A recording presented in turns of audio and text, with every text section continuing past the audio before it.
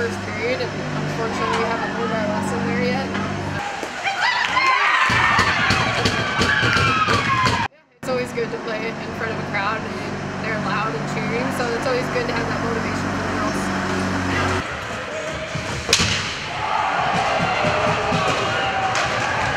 It was pretty cool. It was my dad and my grandma flew down from Canada to come watch, so it was pretty cool to look up and see them there. It's cool to see people with ASU jerseys actually like the colors around us and everything. It's just it's nice to be home. The end of the game, I mean, just that overall effort level um, was great.